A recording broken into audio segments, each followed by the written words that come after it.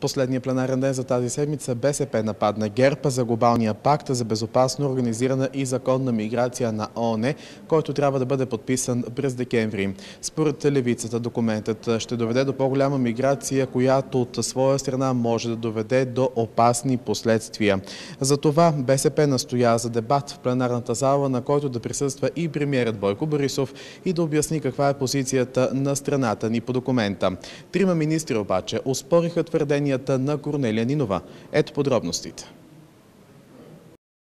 С документа ще се разпишат условията за влизане и пребиваване на мигранти, както и правилата за издаване на визи в държавите членки. В пакта са включени и мерки за незаконната иммиграция и борбата срещу трафика на хора. БСП обаче видя редица спорни моменти и настоя за пълна прозрачност на българската позиция. За левицата пактът е опция да се възползват всички мигранти, включително и онези, които нямат паспорти, а това ще подложи на риск сигурността у нас.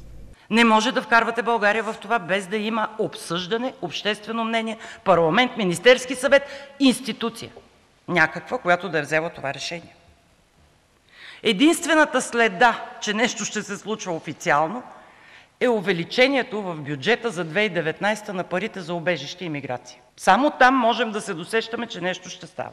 И искаме премиера да дойде и да обясни кой, кога и защо реши да присъедини България към този пакт, който не защитава българския национален интерес и европейските ценности. Трима министри успориха твърденията на левицата и посочиха, че все още няма решение на Министерския съвет и обвиниха червените, че всяват смут без повод. Първо този пакт е към ООН. Второ, няма решение на България за присъединяване или за не към него.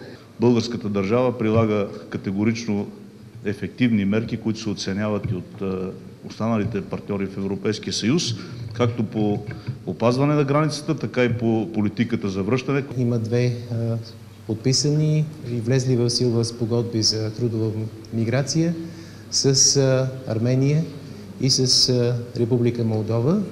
И това се прави с цел да се преодолеят проблемите на българския пазар на труда.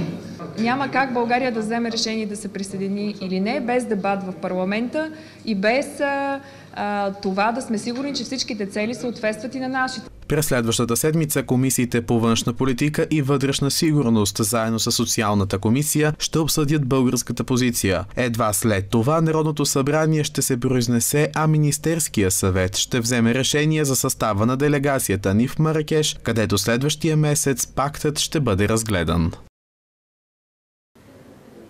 Европейският съюз трябва да се присъедини към пакта на 11 декември.